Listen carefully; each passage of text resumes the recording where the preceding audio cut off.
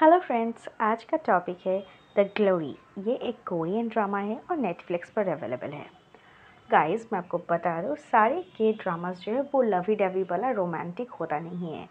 ये बहुत ही डिफरेंट है और बहुत ही थ्रिलर वाला है। तो आइए इसकी कहानी जानते हैं। एक लड़की होती है तो बचपन में उसको पाँच मतलब लड़का और लड़की पाँच लोग मिलकर बहुत ज़्यादा बुली करते हैं। स्कूल में टॉर्चर करते, बहुत मारते पीटे हैं। स्ट्रेटनर जो होता है, हेयर स्ट्रेटनर से, उसके पूरी बॉडी में जो है, उसको जला देते हैं। और काफ़ी टॉर्चर सहने के बाद जो है, वो वो स्कूल छोड़ देता है। और उसकी मॉम जो है, वो भी उसे बिल्कुल प्यार नहीं करती है। और मतलब हमेशा बस वो पैदा हो गई है और उसका माम का काम ख़त्म, उसको बस पैसा चाहिए और फ़ेमस होना है, ये सब। तो वो लड़की जब बड़ी हो जाती है, एक स्कूल टीचर बनती है और उसका तब से बचपन से मोटिव ये रहा है कि वो उन पाँचों को उसको सज़ा देना है, जो उनके साथ गलत किया है।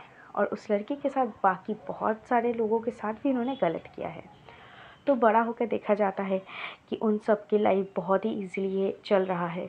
उसमें से तीन बहुत ही अमीर है और दो छोटे मोटे लाइक उनके चमके टाइप तो धीरे धीरे करके वो लड़की जो है सबसे बदला लेती है।